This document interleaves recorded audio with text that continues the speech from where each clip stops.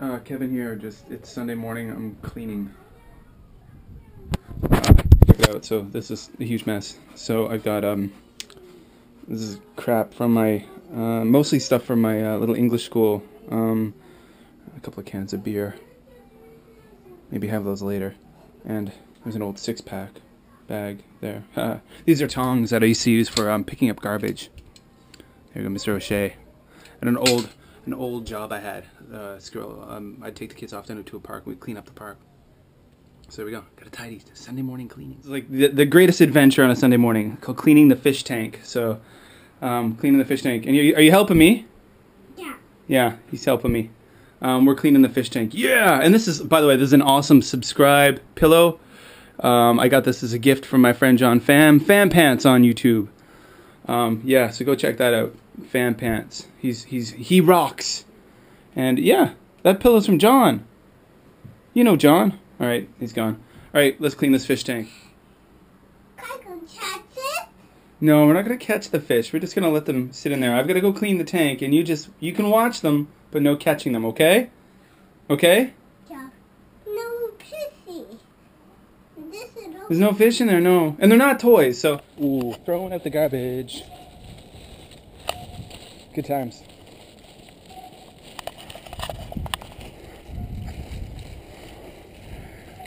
Oh, all the bins are full. Drop it here. Good times. Anyone need a shoe? No? Hey guys, so I'm off. Uh, I'm off to the hospital to visit my friend. I a friend who's in the hospital. He had surgery, and uh, he's been in there for a few days. And, and uh, thing is, my friend is a uh, he's a he's a big fan of, of drinking, and of course he can't drink because he's in the hospital recovering from surgery. So I figured I'd get him these mini bit mojito. so it's like a mint chocolate snack, but you know it says mojito. Close enough? No. Certainly not going to smuggle booze into a hospital. That's just wrong. Ah, missed my train. I gotta wait 10 more minutes. Damn it. Shouldn't have dawdled.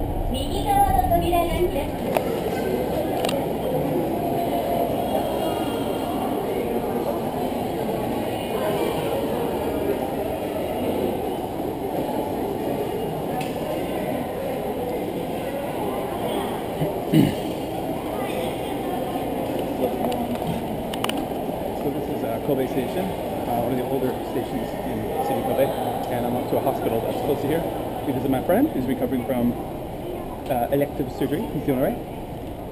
And uh, yeah, so I made some pizza, homemade pizza to, to bring to him.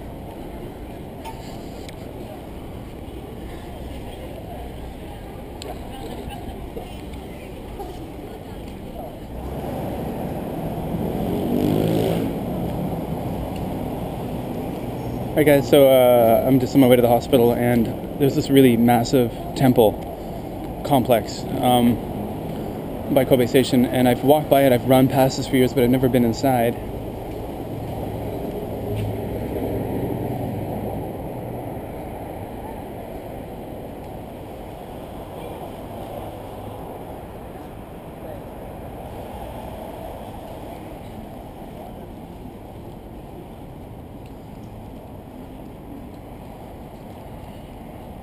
This is big. This is the biggest uh, temple I've been in, a shrine, I should say, shrine, jinja, I've seen in Kobe actually.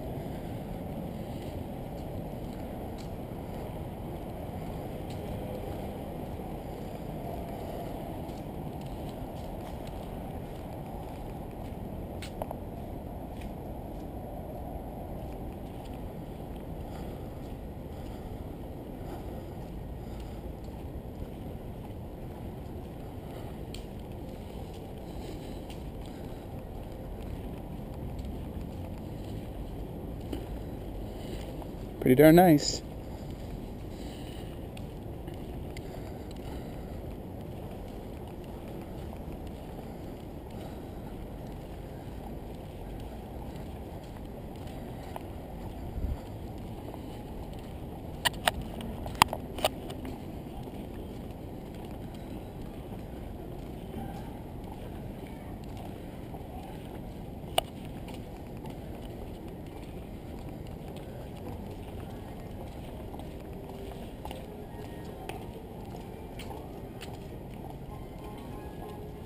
Ooh, there's an Anpanman vending machine. My son would love to see that. Okay, so it's Sunday afternoon, and I'm, I'm trying to get in the hospital, and yeah, there's a family mart there. I'm trying to get in the hospital, but all the doors are freaking locked. Like, this is one thing that pisses me off about Japan. Some, all, yeah, um, so yeah, the hospital shut down on the weekends. So um, the entrances that I was using during the week to visit my friend are they're all locked now, and the lights are off. So this is a big hospital. So I gotta try to wander around trying to find a door that's open. Um, that's one thing that is really strange, um, coming from the perspective of, as a Canadian or a Westerner, that often on weekends um, there's very few medical services. Like, don't get sick on the weekends, guys, um, and don't have an accident on the weekends, because a hospital might not accept you because they don't have doctors there or they're like, well, limited services. Let's just say that. Ah.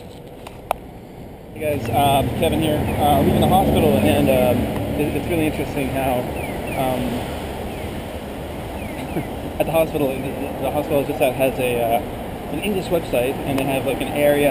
They have a, a desk called the International Patients Desk. I mean, it's all written in English, but yet no one speaks English. Uh, yeah.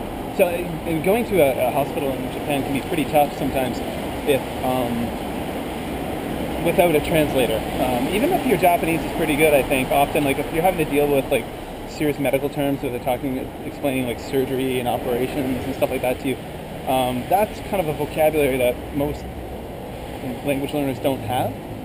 But uh, nonetheless, nonetheless, um, my friend, he was in good hands. Um, he has lots of, of uh, Japanese friends helping him out, and this and that, and, and there you go.